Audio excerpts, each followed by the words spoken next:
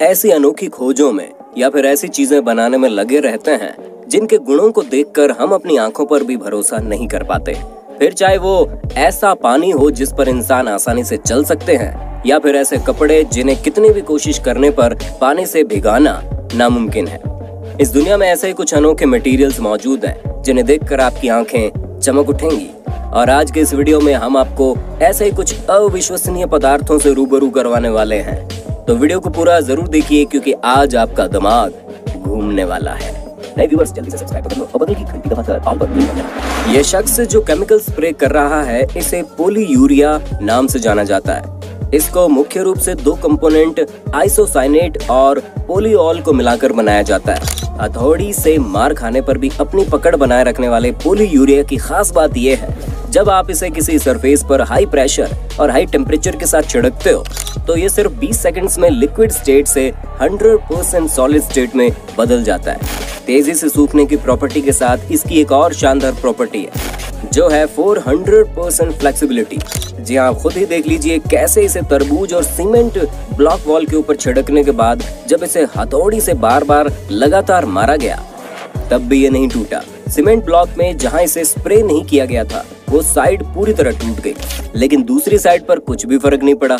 यहाँ तक कि यही कारनामा बोतल और अंडे जैसे बेहद नाजुक चीज़ों के साथ करके भी दिखाया गया।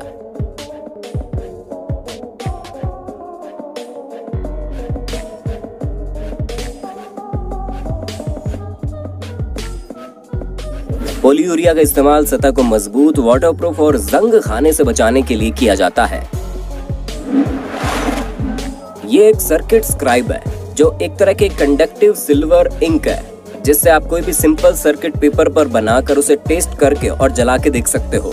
इससे बच्चे कॉम्प्लेक्स सर्किट को बड़ी आसानी से समझ सकते हैं। आप इसे अमेजोन पर खरीद सकते हैं। अभी आप जो कारनामा स्क्रीन पर देख रहे हैं, उसे लुबोर लेंस कहा जाता है। ये एक प्रकार का फ्रे स्नेल लेंस, जो पुरानी टीवी आदि में पाया जाता था। इसी सतह पर सैकड़ों छोटे छोटे प्रिज्म होते हैं, जो कुछ हद तक पोलराइजर की तरह काम करते हैं। यानी एक एक्सिस के लाइट को डायरेक्ट पास करता है और दूसरे एक्सिस को डिफ्यूज करता है। मतलब कि एक तरफ़ की कोई भी चीज़ पूरी तरह से गायब ही हो जाती है। इस पर डिटेल वीडियो हम बाद में ज़रूर बना सकते हैं। होली का त्योहार आ रहा है। ऐसे में हम सभी को कपड़े भीगने का डर तो ज़रूर सताता है। लेकिन अगर हम आपसे कहें कि इस दुनिया में ऐसे कपड़े भी मौजूद हैं, जो पानी से गीले होते ही नहीं हैं, जी हाँ और सिर्फ़ कपड़े ही क्यों? आप इस पदार्थ की कोटिंग जिस भी चीज़ के ऊपर कर दो, वो भीग ही नहीं सकते। चाहे वो कागज़ हो या फिर कोई इलेक्ट्रॉनिक डिवाइस भले ही पानी को तुरंत सोखने वाला टिश्यू पेपर ही क्यों ना हो।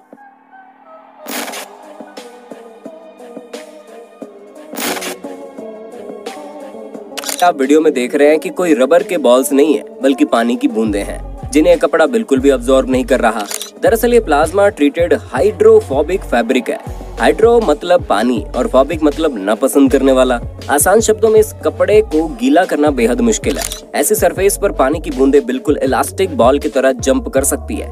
1970 के दशक से नेचुरल हाइड्रोफोबिक प्रॉपर्टीज़ वाले कमल के पत्तों को ऑब्जर्वेशन में रख कर इस तरह के अल्ट्रा हाइड्रोफोबिक मटेरियल बनाए गए। कोटिंग करते वक्त ये सतह पर एयर बैरियर भी क्रिएट कर देते हैं, जिससे इनकी खासियत में चार चाँद लग जाते हैं।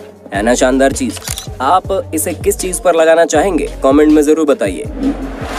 इसी प्रकार जब रेत को हाइड्रोफोबिक कंपाउंड से ट्रीट किया जाता है तो हमें मैजिक सैंड मिलती है, जिसे हाइड्रोफोबिक सैंड भी कहते हैं। यानी इसे चाहे आप पानी में डुबो दें, लेकिन वो गीली होती ही नहीं है, जो दिखने में काफ़ी सेटिस्फाइंग लगता है। अगर आपको स्नोफॉल पसंद है, लेकिन आपके यहाँ बर्फ़ नहीं गिरती तो फ़िक्र मत कीजिए, बल्कि अपनी खुद की बर्फ़ बनाइए। जी हाँ वीडियो में दिख रहा पोली स्नो एक सुपर एब्जॉर्बेंट पॉलीमर पदार्थ के रूप में जाना जाता है। जब आप इसमें पानी मिलाते हैं तो अपने वज़न से कई गुना ज़्यादा पानी को ऑब्जॉर्ब कर लेता है और कुछ ही सेकंड्स में अपने साइज़ से सौ गुना ज़्यादा एक्सपैंड होकर स्नो जैसा रूप ले लेता है। ऐसा इसलिए होता है क्योंकि पानी मिलाने से पोली स्नो पदार्थ की पॉलीमर चेन्स में तेज़ी से एक दूसरे के साथ क्रॉस लिंकिंग होने लगती है, जिसकी वजह से पानी डालने के बावजूद ये लिक्विड या जेली स्टेट के बदले सॉलिड स्टेट में बदल जाते हैं। इसका इस्तेमाल डाइपर हेयर जेल आदि में होता है। अगले रोमांचक मटेरियल निटिनॉल की प्रॉपर्टी देखकर हमारी तरह आपकी भी आँखें खुली की खुली रह जाएँगी। दरअसल निकिल और टाइटेनियम नाम के दो मटेरियल्स को समान मात्रा में मिलाकर निटिनॉल बनाया जा सकता है। इस मटेरियल की खासियत यह है कि आप चाहे इसे कितने भी अलग अलग तरीकों से मोड़े, लेकिन जब हाई टेम्परेचर लिक्विड या गैस स्टेट वाले पदार्थों के कॉन्टेक्ट में आता है तो इनके बीच में हीट एक्सचेंज होती है। तब ये फिर से अपने नॉर्मल शेप में वापस आ जाता है। निटिनॉल की इस प्रॉपर्टी को मेमोरी इफ़ेक्ट के नाम से जाना जाता है। निटिनॉल का इस्तेमाल बहुत सारे इंडस्ट्रीज़ जैसे कि मैकेनिकल रोबोटिक्स में किया जाता है। दोस्तों, दुनिया भर में प्लास्टिक पोल्यूशन तेज़ी से बढ़ रहा है और ये सबसे ज़्यादा पानी कोल्ड ड्रिंक्स और जूस की बोतल्स की वजह से होता है। इसी समस्या का समाधान नॉट पला नाम की कंपनी लेकर आई है।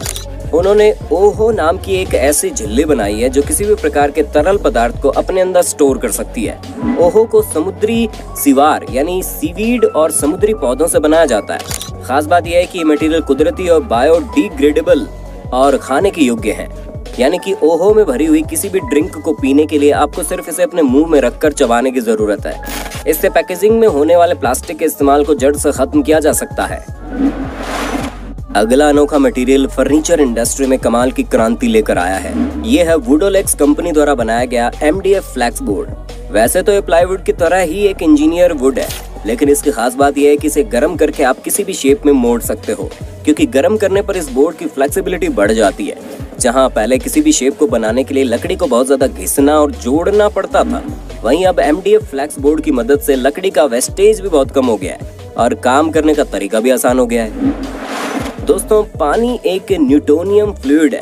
यानी कि आप इसमें ऊंचाई से छलांग लगाएँ या फिर आराम से पैर रखें। आपके पैर पानी के अंदर जाएँगे ही जाएँगे। लेकिन क्या आप जानते हैं कि नॉन न्यूटोनियम नाम के फ्लूड भी होते हैं, जिनकी खासियत ये होती है कि अगर आप इस पर कुछ ज़ोर से फेंकते हैं या मारते हैं तो ये सॉलिड की तरह बर्ताव करते हैं। वहीं अगर आप इसमें धीरे से कुछ डुबोने की कोशिश करते हैं तो ये लिक्विड की तरह बर्ताव करता है। यानी ये न्यूटन के लॉ को फॉलो नहीं करते हैं।